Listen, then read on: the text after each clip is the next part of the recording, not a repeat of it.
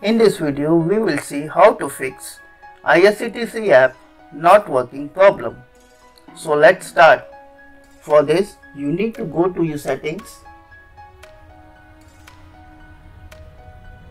Now in settings, go to app management.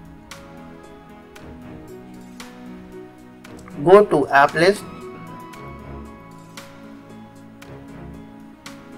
Now in the app list, search for the IRCTC app. Go to IRCTC app. Go to storage usage.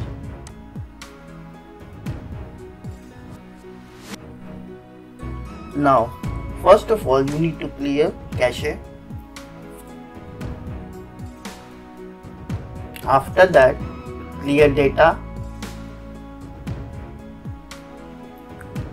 Tap ok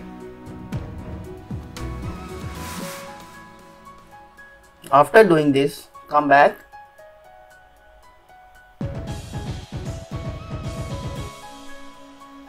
And go to your play store.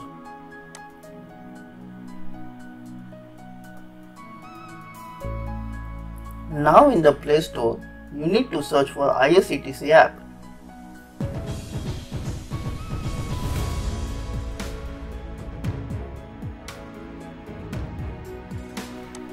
Already showing update, so update your app. Now go back, again go to the settings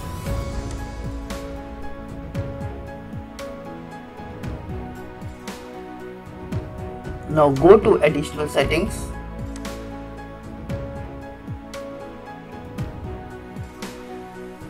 Now go to date and time.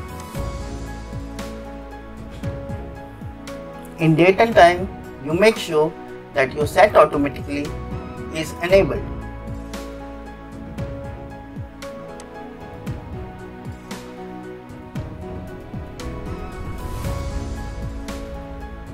After doing this, restart your mobile and your problem will get resolved.